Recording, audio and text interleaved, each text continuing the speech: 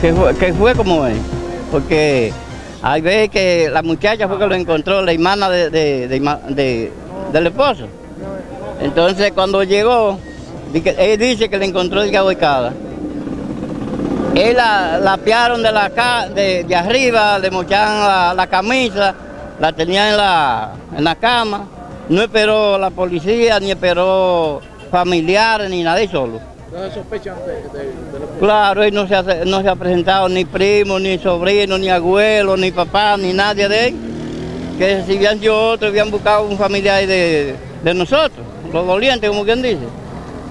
Y nos había explicado cómo había sido, qué medio le dio a buscar o algo, y ellos no, no buscan nada de eso.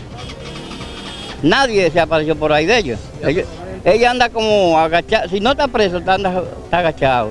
Él tiene un motor que lo tenía pegado de la, de la misma cama ahí, de donde ella estaba. Y entonces ella dice que no entregue el celular tampoco, la, hermana de él. ¿Eh? ¿Y por qué no le que no lo quiere entregar. Desde esa noche ella fue que lo quitó, cuando lo encontraron ahí, y no quiere entregar el celular ni nada.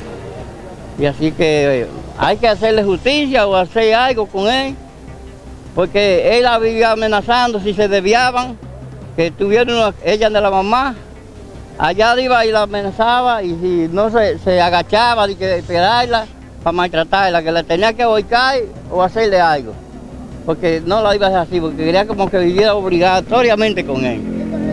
¿Cómo se llama él? Bueno, a él le digamos Callillo, yo no sé después los otros nombres, pero fue Callillo que yo lo conozco, lo reconozco.